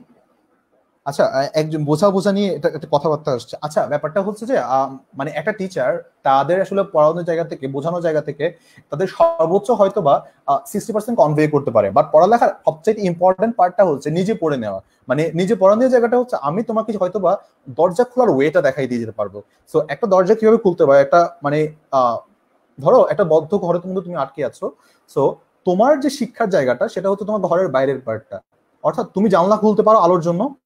তুমি ঘরের মধ্যে ইলেকট্রিক লাইট লাগাইতে পারো, তুমি দরজা খুলে বাইরে যেতে পারো। তো আমি যেটা বলি নর্মালি তুমি যদি একটা লাইট জ্বালিয়ে দাও, তুমি অফকোর্স ঘরটাকে আলোকিত করবে ইলেকট্রিক লাইট দিয়ে। বাট জিনিসটা হচ্ছে, তুমি সূর্যের আলো দেখা কখনো পাবা না। তুমি সূর্যের আলো যে ফিলতে সেটা কখনো পাবো না। আমি তোমাকে বলি জানালা খুলতে। জানালা খুললেও আলো কিন্তু তোমার ঘরে আসতেছে। কিন্তু তুমি, কিন্তু তোমার পরিপূর্ণ যে আলোটা, তুমি সেটা কিন্তু পাচ্ছ না। বাট তুমি চিন্তা করে দেখো, আমি যদি তোমাকে দেখিয়ে দেখি কীভাবে দরজা খুলে বের হতে হয় তুমি সারা পৃথিবীর আলো তখন তুমি দেখতে পারবা, যখন তুমি দরজার বাইরে যেতে পারবা বা ওই পৃথিবীর আলোটাকে তুমি দেখতে পারবা। সো পড়াশোনার সিস্টেমটা এরকম আমি অ্যাজ এ টিচার তোমাকে দেখাই দিতে পারব কোথায় তুমি সর্বোচ্চ আলোটুকু পাবা, কীভাবে তুমি ওই আলোর কাছাকাছি যেতে পারবা।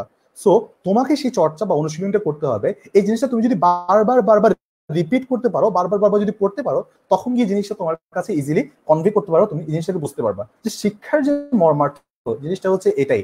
অলরাইট সো মন খারাপ করার কোনো রিজন নাই। তুমি তারপরে যদি না পারো, তুমি তারপরে যদি না বুঝতে পারো কাইন্ডলি আমাকে জাস্ট ইনবক্স রিচ করতে পারো। হাউ এভার এখন জাস্ট আমি বলি যে পাঠ পরিচিতিটা তোমরা বইতেই আছে। আমি জাস্ট একটু জাস্ট তোমাদেরকে পড়িয়ে দেবো, কারণ আমি পুরো কবিতাটাই তোমাদেরকে অলরেডি পড়িয়ে দিয়েছি। সো যার কারণে তোমাদের আর, আমি মনে করি না আর কোনো কোনো সমস্যা থাকতে পারে। ইয়েট আমি একটু বুঝিয়ে দিই। মধ্যযুগীয় পরিবেশে তখনকার বঙ্গ ভাষাভাষী মানুষগুলোর মধ্যে একটা মানে এই কবিতাটা আসলে তখনকার সমাজ ব্যবস্থার বিরুদ্ধে গিয়ে তিনি বলেছেন। মানুষগুলো আসলে সবচেয়ে বেশি উর্দু, ফার্সি এগুলো নিয়ে বেশি মানে কি বলা হয় তারা বেশি স্টিক ছিল ওই ভাষার প্রতি, তারা আটকে ছিল। সো এমন অবস্থায় এই কবিতাটা একটা নির্লভ মানে আমি এটা একটা আমাদের কি, তার একটা নির্লভ নির্লভ সৃষ্টি এবং এটা একটা দুর্লভ একটা নিদর্শন হিসেবে থাকবে। কারণ ওই সময় গিয়ে মানুষদের বিরুদ্ধে গিয়ে ভাষার প্রতি যে আবেগ এটা ফুটিয়ে তোলাটা অনেক বিরাট কাজ ছিল তখনকার সমাজ ব্যবস্থা মধ্যযুগীয় অবস্থায়। তো কবিতার কবিতায় গভীর উপলব্ধি এবং বিশ্বাসের কথা নির্দ্বিধায় ব্যক্ত করেছেন এবং আরবি ফারিসি ভাষার প্রতি কবির মোটেই বিদ্বেষ নেই, তবুও তিনি এসব ভাষায় যে এসব ভাষায় যে আসলে আল্লাহ এবং মহানবী সাল্লাহ স্তুতি বর্ণিত হয়েছে, এই পর্যায়ে তিনি বলেছেন যে তাই এসব ভাষার প্রতি তিনি শ্রদ্ধা জ্ঞাপন করার পাশাপাশি তিনি এটাও প্রকাশ করেন যে না, আসলে মানুষগুলো যদি পড়েও আনসি পারা মানুষগুলো যদি কোরআন শরীফ পড়েও, তারা না আসলে ওইটাকে ধরতে পারে না। স্রষ্টার কাছাকাছি যেতে চায়, যেতে পারে না। কারণ এই ভাষাটা একটা ব্যারিয়ার হিসেবে আছে। তিনি বলেন, যে ভাষায় আসলে মানুষগুলো ভাব বিনিময় করতে পারে না, সে ভাষা তাদের জন্য কঠিন হয়ে যায়। অর্থাৎ তারা বুঝতে পারে না। এই কারণে যে মাতৃভাষা যদি যদি দোয়া করে, মাতৃভাষা যদি স্রষ্টাকে ডাকতে শিখে, তাদের জন্য এটা তাদের জন্য আরও বেশি স্রষ্টাকে কাছে পাওয়ার জন্য একটা মাধ্যম হিসেবে থাকবে। এই কারণে বলা হয়, কবি মাতৃভাষায় গ্রন্থ রচনায় বেশি মনোনিবেশ করেছেন। মাতৃভাষা যদি গ্রন্থগুলো থাকতো, এটা জাস্ট ইয়া করেন সো ক্লাসের প্রথম দিকে মিম্মা জানাত বলেছিলেন যে, না, আসলে সুনীতি কুমার চট্টোপাধ্যায় ওইখানে ছিলেন। তিনি প্রথম এটা রচনা করেন। বাংলা ভাষা যে বই লেখা বা ব্যাকরণের যে রচনা ওইগুলো ছিল। সো ওই তখনকার থেকে যে আসলে একটা রেগুলেশন মানে সৃষ্টি হয়েছে, বিপ্লব সৃষ্টি হয়েছে, ওই যে বিপ্লবটা তিনি আরেকটা মাত্রা যোগ করেন, যেখানে কিনা তুমি বলেন যে, না, আসলে না, আমাদের বইটা যা লেখা আছে, এই বইগুলো আমাদের বাংলা ভাষায় লিখতে হবে তাহলে না মানুষ জানবে তাহলে মানুষের কাছে পৌঁছে যাবে। এই যে কনসেপ্ট কনসেপ্টগুলো এই কনসেপ্ট কনসেপ্টগুলো তিনি প্রথম ড্র করেন। তো তিনি আরও বলেন, কবির মতে, মানুষ মাত্রই নিজ ভাষায় স্রষ্টাকে ডাকেন এবং স্রষ্টা মানুষের বক্তব্য বুঝতে পারেন। অর্থাৎ স্রষ্টার কাছে বাংলা বলো, উর্দু বলো, ফার্সি বলো, এগুলো কোনো ম্যাটার করে না। বাট তুমি বাংলা ভাষায় জন্মগ্রহণ করে বাংলা ভাষা যদি মমতা না মমতা না থাকে তোমার, এটা তোমার একটা দুর্বলতা, তোমার একটা ব্যর্থতা। অর্থাৎ কবি তাদেরকে বলে জন্ম পরিচয় সম্পর্কে কবি ডিরেক্টলি কোয়েশ্চেন করেন। তিনি বলেন যে, না, আসলে যার, এই যে দেশের প্রতি বিন্দু মাত্র আসলে আবেগ নাই, দেশের প্রতি কোনো, স্বদেশের ভাষার প্রতি বিন্দু মাত্র আসলে কি বলা হয়, ভালোবাসা নাই তাদেরকে কই বলেন যে আসলে তারা কেন অন্য জায়গায় চলে যায় না? বংশানুক্রমে আমাদের এটাই আসলে বাংলাদেশ আমাদের ভূমি, এটাই আমাদের শিকড়।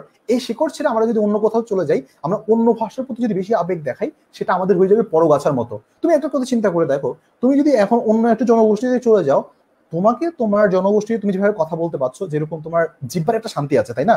নর্মালি বলে আমাদের সবার কিন্তু আবার একটা নিজস্ব আমিন নেটিভ ল্যাঙ্গুয়েজ আছে। আমরা যখন গ্রামের দিকে চলে যাই, আমাদের নিজস্ব ডায়ালেক্ট আছে, উপভাষা আছে। যেমন তুমি দেখো যে চট্টগ্রামের ভাষা, যারা কথা বলে, তাদের একটা চট্টগ্রামের টান আছে।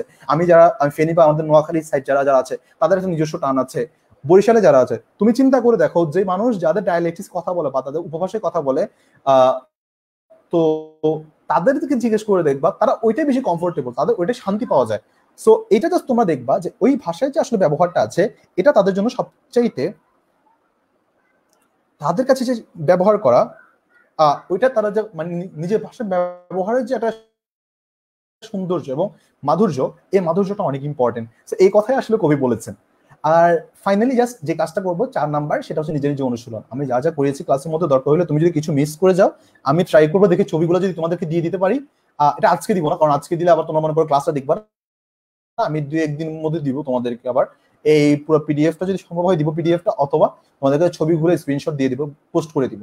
তো এটা মোটামুটি জাস্ট আমি একটা কাজ করতে পারতাম তোমাদেরকে, এই নোটগুলো যা যা মুখে বলেছি, এগুলো আমি মুখে না বলে তোমাদেরকে আমি এখানে দিয়ে দিতে পারতাম। বাট দেই এই কারণে, কারণ ওই নোটগুলো থাকলে তোমরা অনেকে ভাববা যে না, আসলে শীটের মধ্যে তো আছে লেকচার শীটের মধ্যে তো আছে, আর শোনার কি দরকার বা অ্যাটেন্টিভনেস একটু তোমাদের কমে যায়। যার কারণে আমি মুখে মুখে বলেছি দরকার হলে তোমরা রিপিট করে করে তোমরা যাতে জিনিসটা দেখে দেখে তোমরা শিখতে পারো।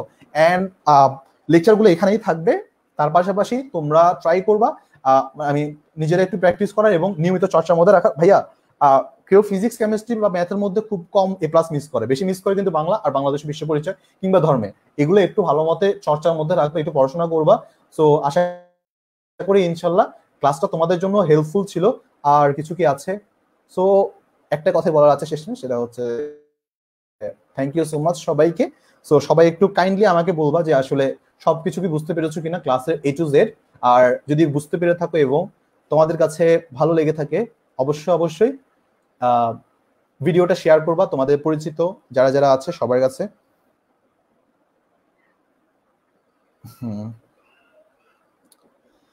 আচ্ছা আটকে গেছে নাকি আবার? Alright so thank you so much সবাইকে। তাহলে সবাই ভালো থাকো, সুস্থ থাকো। পরবর্তী কোনো লেকচারে তোমাদের সাথে দেখা হবে। নিজেদের যত্ন নিবা, বাবা মার কথা শুনবা, পড়াশোনার সাথেই থাকবা। আর নেক্সট লেকচারে দেখা হবে ইনশাল্লাহ আমি দেখি তোমাদের সাথে আবার কোন লেকচারে ফিরে আসা যায়। আমি একটু তোমাদের দুই মিনিট মানে তোমাদের একটু কোয়েশ্চেন নিব। তোমরা একটু জাস্ট ফিডব্যাক কোয়েশ্চেন একটু জানাও দেন আমি জাস্ট ক্লাসটা শেষ করে দিব। তিন চার দিনের মধ্যে ইউটিউবে এই লেকচারটা আপলোড হয়ে যাবে ইনশাল্লাহ